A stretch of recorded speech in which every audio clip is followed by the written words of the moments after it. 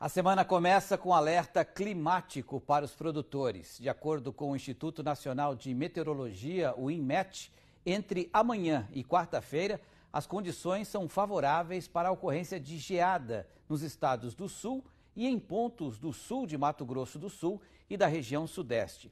Além disso, o INMET também diz que há uma pequena possibilidade de ocorrência de neve nas serras gaúcha e catarinense. A possibilidade de geadas preocupa produtores, nesse caso especificamente os cafeicultores, que foram muito afetados no último ano pela intempérie climática. Sobre isso, conversamos agora com o agrometeorologista da Climatempo, o Celso Oliveira. Celso, primeiro, obrigado pela sua participação, já que esse é o grande assunto do dia. É importante a sua participação aqui ao vivo para nos contar onde nesse momento está a maior massa de frio, até onde ela pode avançar e atingir que temperaturas? Boa noite, Celso.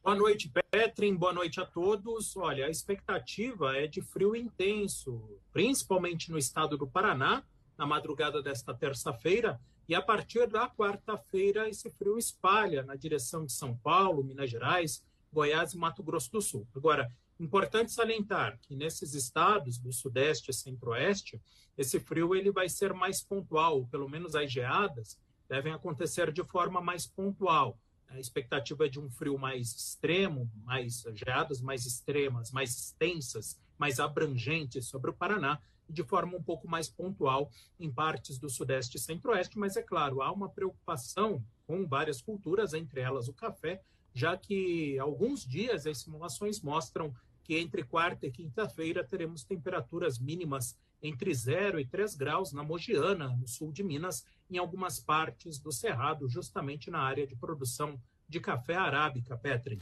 É o que você está dizendo, então, que o estado que mais vai sentir essa onda de frio vai ser o Paraná, isso, com temperatura chegando a que ponto aí? Nesse caso, também de 0 a 3 graus, mas a expectativa é que essas temperaturas sejam vistas em boa parte dos municípios paranaenses. Então, nesse aspecto, a chance de geadas uh, em áreas produtoras de café, milho, uh, feijão, hortifruti, mesmo em pastagens, é maior, né? deve pegar mais municípios no estado do Paraná, comparando-se aí a São Paulo, a, a Minas Gerais, Mato Grosso do Sul e Goiás, onde essas geadas devem acontecer de forma mais pontual. E essa possibilidade de, inclusive, nevar nas serras gaúcha e catarinense? Ah, sim, não seria estranho. Até porque eu estava dando uma olhada agora, a temperatura já está em meio grau né, na Serra Catarinense, com a presença desse ciclone extratropical, que deve se transformar, na verdade, numa tempestade uh, subtropical, com ventos de mais de 100 km por hora no Rio Grande do Sul. Mas acontece que essa tempestade também gera chuva.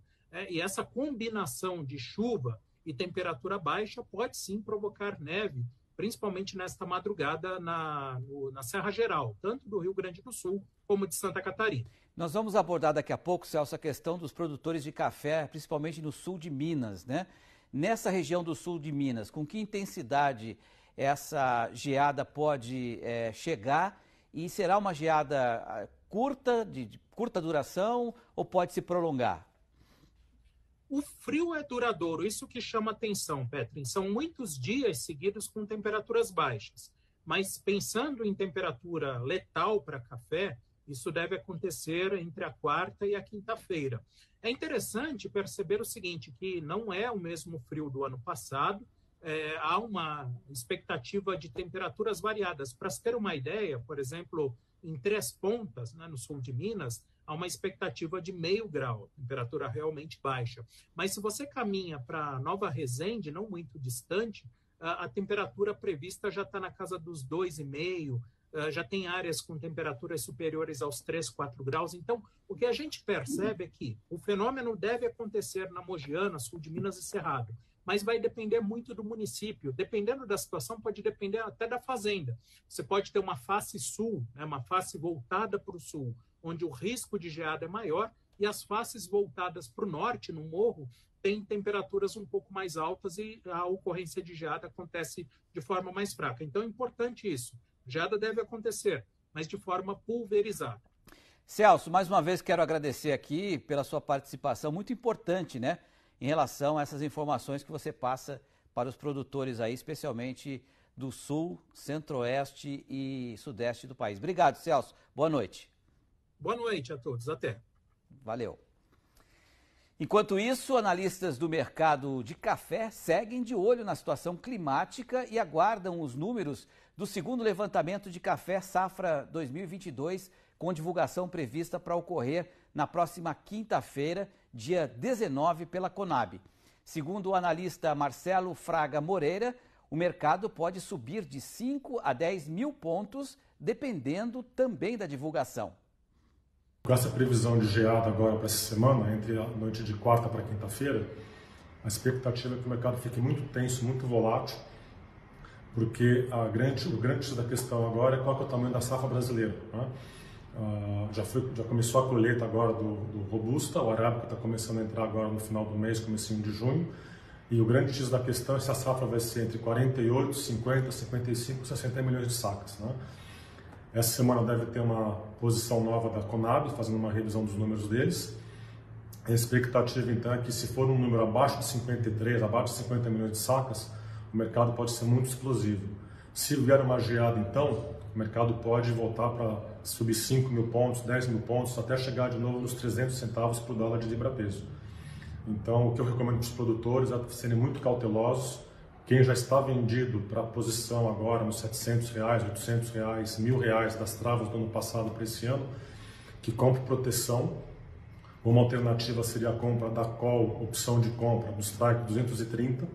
Ela está custando agora ao redor de 75 reais por saco. Isso daria um break-even para o produtor ao redor de 1.500 reais por saco. Então, entre agora 1.250 que está no mercado até 1.500, o produtor que já está vendido teria um prejuízo de até 250 reais.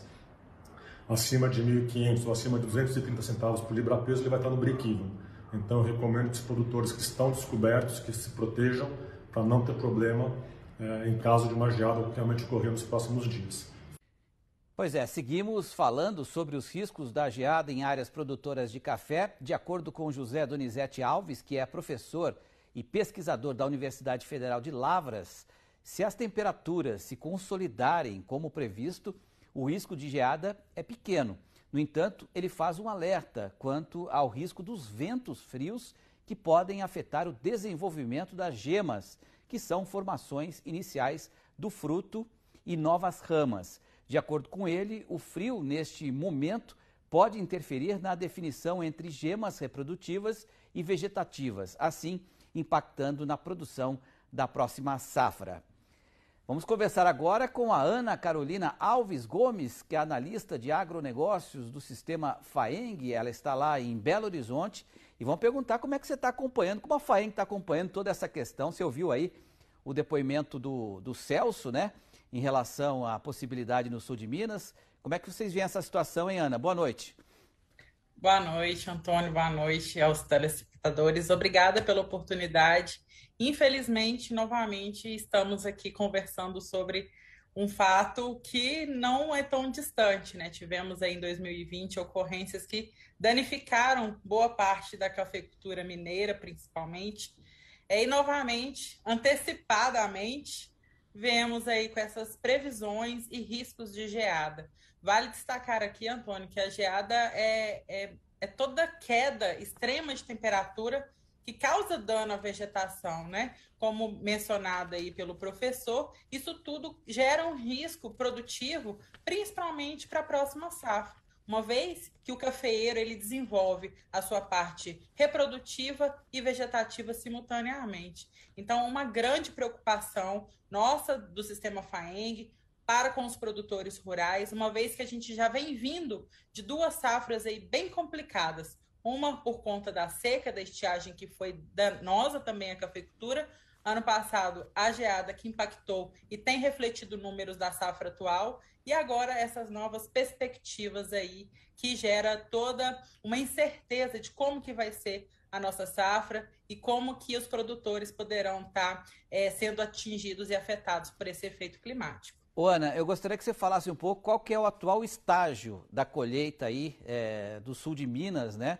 e de que forma é, esse estágio pode ser afetado ou por uma geada ou por uma onda de, de frio, de, de ventos que também podem atingir a questão das gemas. Queria que você falasse um pouco dessa questão mais técnica dos efeitos do, do frio. Claro.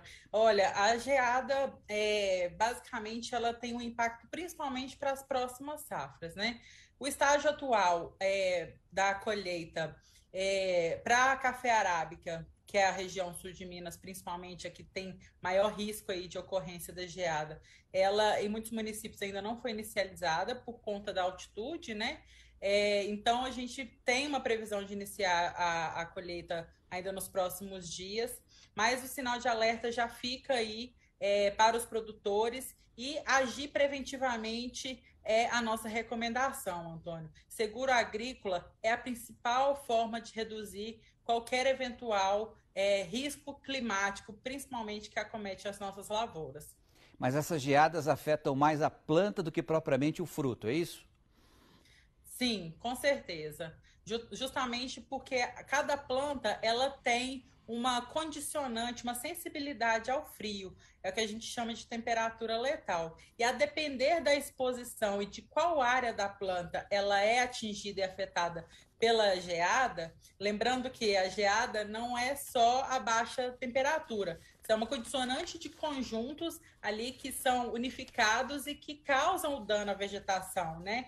Então é a temperatura negativa, somada à baixa umidade, também a, a questão da altitude, dos ventos, isso tudo somados é que causa o impacto e o dano à vegetação. No café, para se ter uma noção, o, a temperatura letal para a planta, para gerar um dano e, e é, afetá-la, a sua produção, causando até a morte dessa planta, é uma temperatura de menos 3,5. Só que a gente destaca que para estar tá 3,5 na planta, essa temperatura geralmente medida num abrigo, numa forma de estação é, meteorológica, ela pode estar, por exemplo, a 2 graus. Então, se está 2 graus no abrigo, na planta ela está menos 3. E isso já é uma temperatura que pode afetar é, e causar danos àquela planta. Perfeito. Eu conversei com a Ana Carolina Alves Gomes, analista de agronegócios do Sistema FAENG. Obrigado pelas informações, Ana. Vamos torcer que é, esse, esse alarme aí seja falso, né? Que tudo dê certo para a safra mineira. Obrigado pela sua participação. Boa noite. Eu que agradeço. Boa noite.